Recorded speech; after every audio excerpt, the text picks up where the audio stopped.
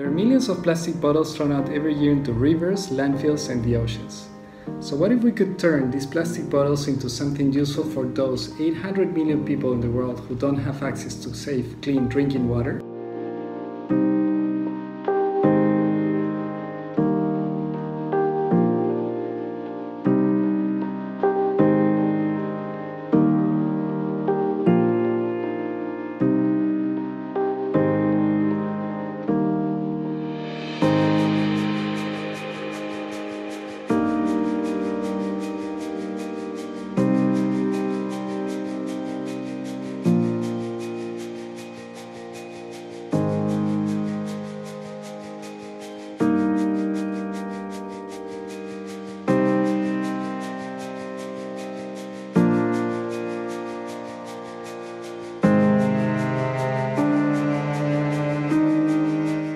We are creating a small, portable, low-cost emergency water filter that can be screwed into standard plastic bottles so that you can grab water from a water well, pond, lake or river, and which can filter out debris and bacteria, especially those that cause a billion cases of diarrhea and other gastrointestinal diseases, like E. coli.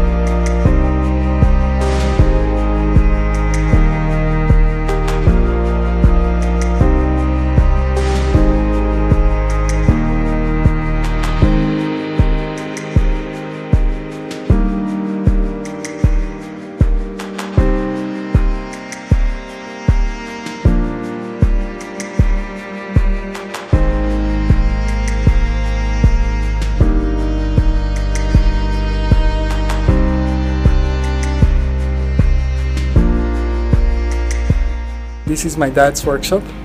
I learned a lot of things from my dad because he's really a maker. He didn't go to college or study university, but he knows everything about chemistry, about physics, about materials, and this is where I learned about basic filtration.